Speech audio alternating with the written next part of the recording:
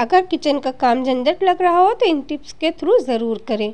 आपका काम बहुत ही आसान हो जाएगा। हेलो फ्रेंड्स, कैसे आप सभी लोग? आई होप ठीक ही होंगे। वीडियो अच्छा लगे तो वीडियो को लाइक ज़रूर कर दीजिएगा और अगर चैनल पर पहली बार आए तो चैनल को सब्सक्राइब करना मत भूलिएगा। तो चलिए वीडियो को शुरू करते हैं। बहुत ही अमेजिंग टिप्स है। वीडियो को पूरा देखिएगा, छोड़कर नहीं जाइएगा। तो पहला टिप्स हमारा इस तरह के पैकेट को लेकर है। घर पे कभी कभी इस तरह के बड़े पैक आ जाते हैं, जिनको इसे खुला छोड़ने से ख़राब होने का डर रहता है। तो अब हमें क्या करना है? यहाँ पर हम ले लेंगे एक पेपर। आप कोई भी पेपर ले सकते हैं न्यूज़पेपर या घर पे कोई भी पेपर पड़ा ज़रूरी नहीं है कि आपको फॉइल पेपर ही लेना है। और आप इस वीडियो में देख सकते हैं किस तरह से मैंने पेपर को पैकेट के ऊपर रखा है और प्रेस गर्म करने के बाद इसको हमें प्रेस कर लेना है।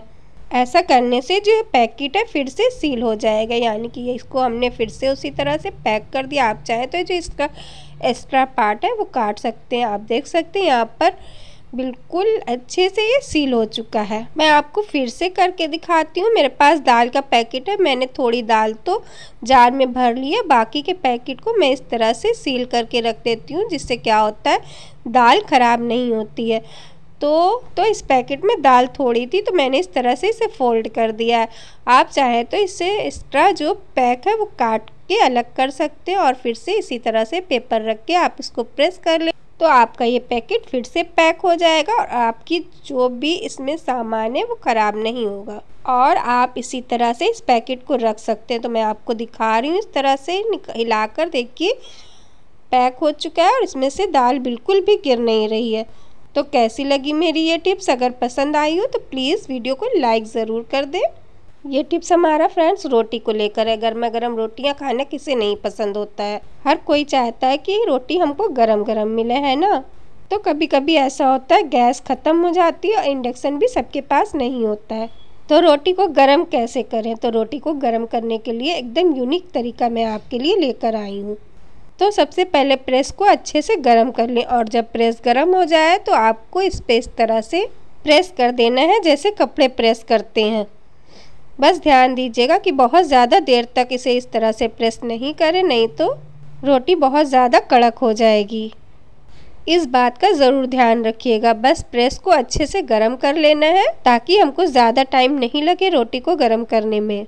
बस दोनों साइड से आप इसे ऐसे गर्म कर लें और गर्म करने के बाद इसे आप डिब्बे में रख दें। तो है ना, यूनिक तरीका। ये तो इंडिया का जुगाड़ है तो पसंद आए तो प्लीज़ एक लाइक ज़रूर कर दें।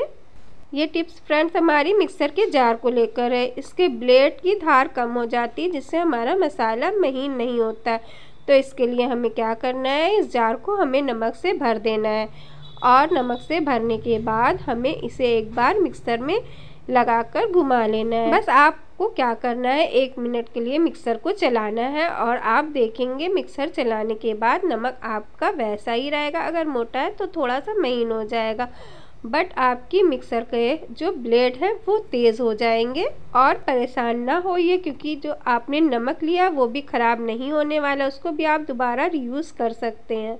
तो यहाँ पर मिक्सर की जो ब्लेड है फिर से तेज़ हो चुकी है। इस टिप्स को आप ज़रूर फॉलो करें और पसंद आए तो वीडियो को लाइक कर दें। और अगर आप मेरे चैनल पर पहली बार आए तो चैनल को सब्सक्राइब ज़रूर कर दें। Thanks for watching